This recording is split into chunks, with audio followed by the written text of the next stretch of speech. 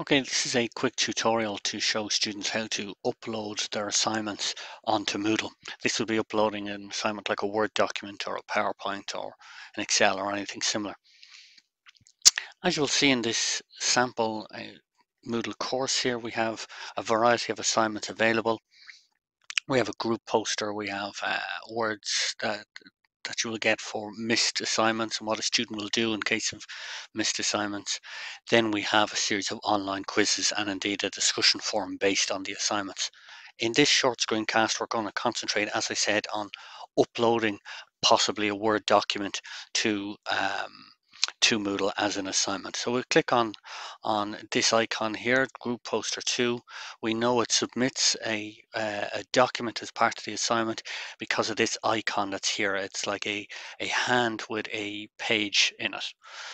So when the student clicks on this, they will get the description about the assignment. In this case, several topics are available. So when the student clicks here, it gives a, a list of a uh, variety of topics underneath what's called a choice activity in Moodle. That's something we'll talk about later on.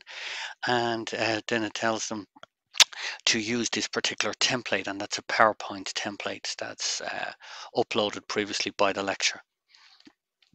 Here we have the uh, available date from uh, and to, and you'll see here it's well within the time frame for us to do it it says that it tells the student, Moodle tells the student there's no file submitted as yet, and then gives the option to upload a file. So simply by clicking on the browse button,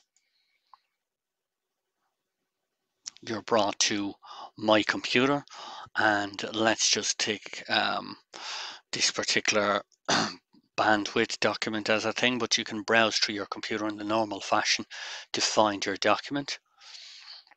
You click upload this file and then just as you wait for your server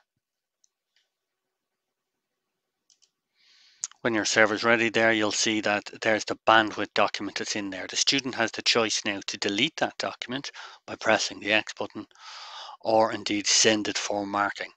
They can and this the, the lecturer has made an option for several files to be submitted at once.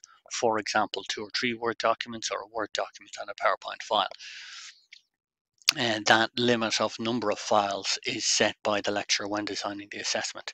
The student now just decides to send for marking. And there we go. Once the assignment is sent for marking, you will no longer be able to delete or attach files. Do you want to continue? Yes, and there we go. It's submitted.